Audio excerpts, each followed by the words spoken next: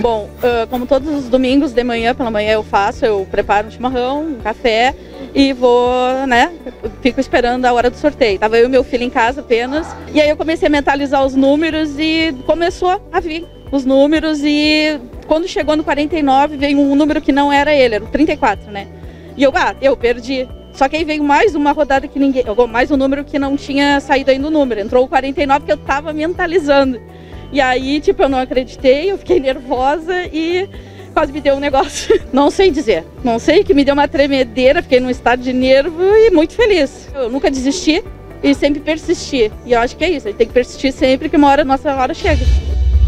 Bom dia, meu nome é Gislaine, eu sou promotora do Trilegal Tia, agora aqui do Calçadão, tá? Esquina Santander. Eu tô aqui com a Débora Paz Canteiro, minha cliente, minha amiga, que ganhou a metade do HB20, referente a 40 mil. Né, Débora? Feliz? Muito. Eu tô muito feliz, né? Além de premiar uma pessoa que é minha amiga. Eu tava assistindo domingo, o, o cara tava passando na televisão lá, ele apareceu embaixo. Eu comprei um tratorzinho para fazer umas lavourinhas mais fácil lá, comprei uma vaquinha de leite. Fiz sobrar dinheiro mais umas ovelhinhas para comer carne, né? É. Tinha comprado assim passado um tratorzinho, virei o trator, quase me matei. Agora eu vou comprar outro, vou cuidar para não me matar com esse outro.